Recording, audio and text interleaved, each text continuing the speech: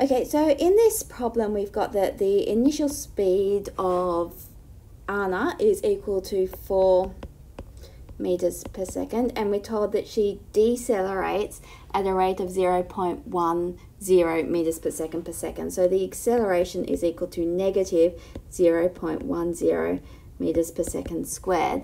So the negative sign comes about because it's a deceleration. So in the first part of the equation, we're asked to calculate Anna's speed after 30 seconds.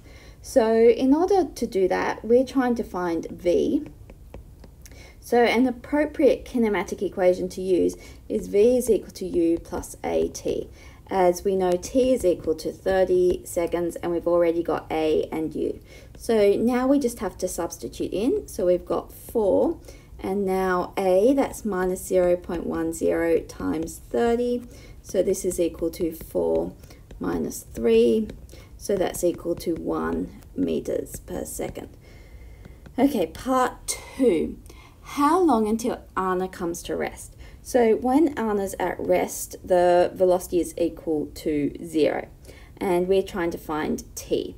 So we can once again use v is equal to u plus at. So we've got 0 is equal to u plus at.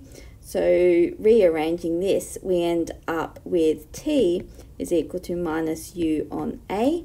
So now we can substitute in. We've got u is 4 meters per second and a is minus 0 0.10. So the negative signs cancel out and we end up with 40 seconds. In part three, we're then asked what distance has Anna travelled when she comes to rest. So in this case, we want to use S is equal to UT plus a half AT squared, and the time in this case is the 40 seconds that we calculated in part two. So U, that's 4 times 40 plus a half times A, which is minus 0 0.10, times T squared, which is 40 squared. So when we set solve that one on the calculator, we end up with 80 meters. So Anna travels 80 meters before coming to rest.